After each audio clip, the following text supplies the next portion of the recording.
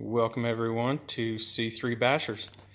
Um, today we are going to get ready to primer up the Blitzer Beetle. Um, as you can see, I have got all the mold lines filled and smoothed out.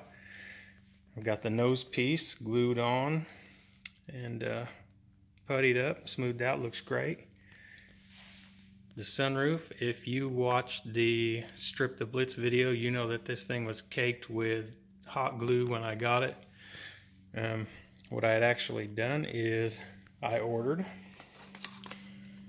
new parts for it. Uh, got my driver with it, getting worked on. So I'm going to get this thing primered, ready to go. And when she is done, I'll take a few more videos and we'll put it all on here so you can see how the progress is going on this thing.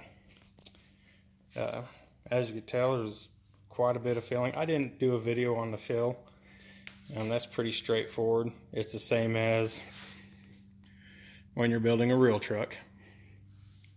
You put it on, you sand it off. If it's good and you're happy, go with it.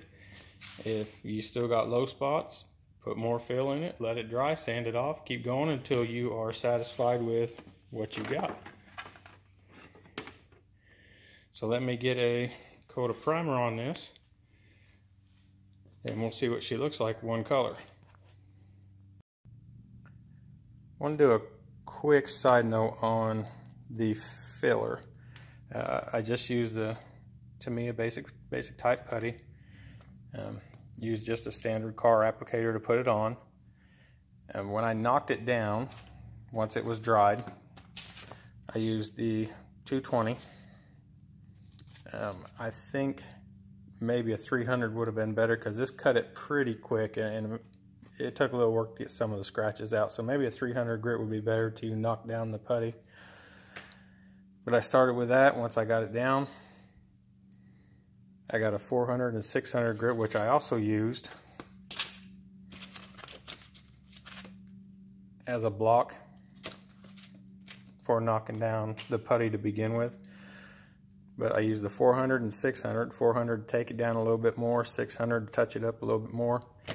And then when I was happy with the results of it, what I would what I did then is these right here. These are foam 3M ultra fine. They're a blending. It's an 800 grit and you use this more to blend the uh, putty into the, the body of whatever you're working on.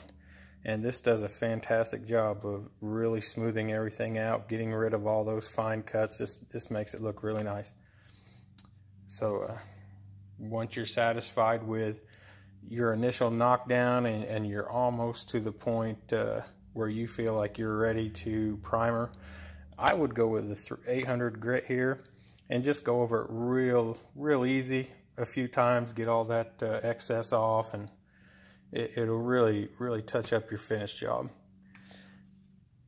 So I'm going to get back to primering the bug. Here's a little quick peek. Whoop. A little blind spider took the wheel.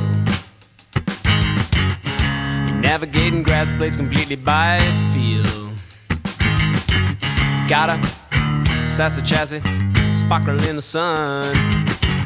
All four small bald fat tires rocking through the sand and burning up. Little dune buggy in the sand.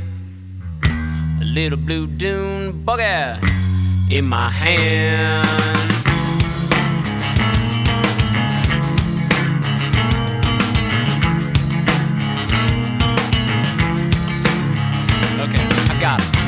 Rubber band motor, humming on the beach, ready for fun. I quit spinning that web and come out and play in the sun. Eight thimble sized cylinders to be as smooth as you please. The spider's badass fat old abdomen stuck in the bucket seat. Little dune bug out in the sand.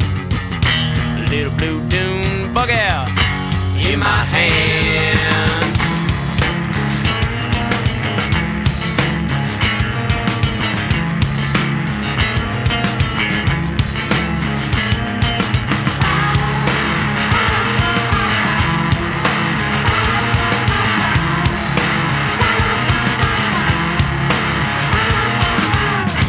Squishy transmission was caught in drive.